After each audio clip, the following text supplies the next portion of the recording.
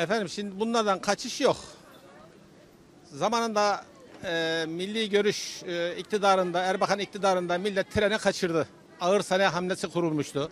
Sivil toplum kuruluşları, askeriye olsun, efendime söyleyeyim, üniversite olsun, e, bunlara karşı çıktılar. Ağır sanayi hamlesini kurdurmadılar. Bundan dolayı şimdi Türkiye'nin başka e, gelecek bir çaresi yok diyorlar deniyor. Bundan dolayı ki bu zamların gelmesi normaldir. Biz buna alışacağız. Çünkü kaynak olaraktan Türkiye'nin kaynakları daha e, meydana çıkmadı. İnşallah efendim gaz bulduk deniyor. E, daha e, farklı şeyler var. Bunlar ortaya çıkınca e, bunlar inşallah e, zorluklardan kurtulacağız. Yalnız bu ağır sanayi hamlesi olmayınca kendi e, ihtiyaçlarımızı kendimiz üretmediğimiz müddetçe dışa bağlı olduğunu müddetçe e, elbette halk bunları karşılayacak. Biz bunlara alışacağız. Şimdi gençler diyor ki yani gaz bulduk diyor hani nerede? Yok petrol bul- bulduk hani nerede? Hani yerli otomobil çıkıyor hani bunlar nerede diye ister istemez bir beklentileri var. Gerçi biraz hani eee, şeyler nasıl söyleyeyim sana?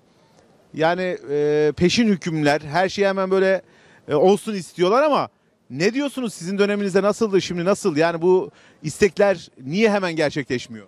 Şimdi her şey bulduk denince efendim bir para da bulsan yerden alıp silip cebine koyuyorsun biz parayı da. Şimdi bunlar efendim e, sabırla bekleyeceğiz. E, bu kaz e, bulundu. O meydana çıkacak. Bir senenin içerisinde e, halkın cebine girecek deniyor. Biz de bunu bekleyeceğiz. Yani Türkiye'nin durumu bu. Yani acaba bir seçim yatırımı mı var hükümet tarafından? Seçim yatırımı bu. Bir sene önce söylendi. Seçim yatırımı da olsa bu milletin cebine girecek. Seçimden önce girecek deniyor. Biz bunu bekliyoruz. Bir heyecanla bekliyoruz biz bunları. İnşallah bu kendi kaynaklarını ortaya çıkınca e, rahat ederiz inşallah diye düşünüyorum. Peki bu CHP için ne diyorsun? Bu TÜİK'e saldırıyor. Aynı zamanda Milli Eğitim Bakanlığı'na e, randevusuz gitti. TÜİK, e, TÜİK'e gitti randevusuz. CHP Genel Başkanı. Bunun için ne diyorsun? Ya CHP Genel Başkanı'nın bir planı, bir projesi olmadığından dolayı efendim akşamdan yatıyor, sabahtan aklına bir şey geldiği zaman koşup efendim bir yere gidiyor. Ya bir, bir randevu alınır. Ya da arkadaş ben falan yere geliyorum. E, haberiniz olsun denir. Onlar da efendim ona göre e, karşılamasını yaparlar. Sizi misafir ederler, konuşurlar. E, kalkıyorsun derebeylik gibi efendim gidiyorsun. Zaten e, CHP'nin e, şeyinde sen söyle planında devlet idaresi, halk idaresi, halk terbiyesi böyle bir şey e, ben görmüyorum. Peki niye yani bu aymazlığı niye yapıyorlar? Yaramazlığından yapıyorlar yani böyle bir şeyleri yok. Televizyonda mesela şeyleri görüyoruz e, milletvekillerini. Bir olumlu bir planları, projeleri yok. Efendim aklına ne gelirse e, ağızdan açıp konuşuyorlar. Şimdi siz de yani yaşınız itibariyle geçmişi görmüş birisiniz. Yani özellikle Erbakan dönemi öncesi sonrasında baktığınızda nasıldı? Yani eee, CHP bu ülkenin başına gelse bu ülkede gerçekten rahatlık olur mu efendim?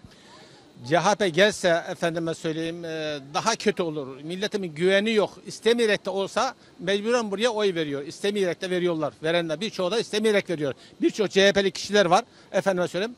e, yani memleketine e, seven kişilerin CHP'li olup da CHP oy vermeyip istemeyerek AKP'ye oy verenler de var. Peki şunu da soralım sana. Ee, diyorum ki bazıları İstanbul'un seçimlerinde dedi ki ya işte biz ceza verelim. AK Parti'ye bir ceza verelim. O yüzden CHP'ye oy verelim. İmamoğlu'na oy verelim dedi. Ne diyorsunuz bu düşünce için? Yani bu millet yani neden ceza vermek istiyor acaba? Aynen dediğin doğru. Çünkü e, belediyede çalışan kişiler olsun efendime söyleyeyim laşkalaştılar, laşkalaştılar. Bundan dolayı efendime söyleyeyim e, değişiklik olsun diye verdiler ama e, zarar ettiler. E, burada oradaki önceki çalışan kişilerin de reisin de kabahati var. Yani şunu soralım. Gerçekten CHP'den sonra İstanbul yönetiliyor mu? CHP İstanbul'u yönetebiliyor mu?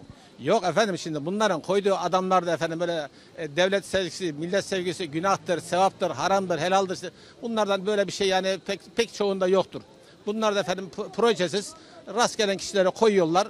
İşte onlar da görüyorsun durumları görüyorsun. Yollar efendime söyleyeyim e, e, sular olsun, e, otobüsler olsun. Bunlarda böyle bir e, plan proje yok yani rastgele şanslarına e, iyi giderse gidecek, kötü giderse zaten kötü gidiyor. Peki ne yapmak lazım? milli görüşe dönelim diyorum ben ama işte zaman ister, zemin ister. Ee, Yine efendim istemeyerek de olsa e, bunları görüyoruz başımızda. Bilmiyorum na- nasıl olacak. Ben Ne de, olsun yani kime oy verelim? Yani siz mesela yarın seçim olsa kime oy verirsiniz? ben yarın seçim olsa e, Fatih Erbakan'a vereceğim. Neden? Ama Fatih Erbakan şu anda hazır mı sizce? Yani şu anda %2, %3 oyu görünüyor. Ee, seçimlerde kiminle zaten tek başına millet şimdi seçime giremiyor biliyorsun e, koalisyon oluyorlar hani Millet e, İttifakı, Cumhur İttifakı E, orasını şimdi ben kestiremiyorum. E, yine Tayyip Bey'le falan beraber e, olurlar diye düşünüyorum ben. Yani siz diyorsunuz ki biz e, yeniden Refah Partisi'ne verelim ama Tayyip Erdoğan'la da e, bir araya gelsinler. Yani Çü- Çünkü e, güç yoktur. Mecburen efendim bu şekilde olacak. E, İt- Millet İttifakı'ndaki olanlar gibi, oldukları gibi. Biz Cumhur İttifakı'nda da olması gerekir. Öbür tarafa giderse de orada pek şansı olmaz. Çünkü onlar sabıkalı kişi. CHP, efendim e, HDP bunlar sabıkalı yani bundan dolayı ki halk, halkıyla beraber iç içe olan kişiler değil bunlar. Peki ne diyorsun bu CHP ile HDP aynı zamanda İyi Parti birleşmesine ne diyorsun? Şimdi normalde anketlerde şu anda İyi Parti önde görünüyor. Ya oyları artmış görünüyor. Yani HDP ile nasıl işbirliği yapıyor İyi Parti? Ya hiç İki zıt kutup yani. hiç de böyle onun oyu falan attığı da yok da millet böyle gösteriyor. Millet oraya yönlendirmek istiyorlar. Zıt kurup da e, bunlar şimdi e, ödünç milletvekili verdiler ya İyi Parti'ye. Ondan dolayı efendim bunlar koya bir e, mefa borcu olaraktan efendime söyleyeyim birbirlerine yanaştılar. Artık o da onlara benzedi. Yani üzüm üzüme baka baka kararır derler ya.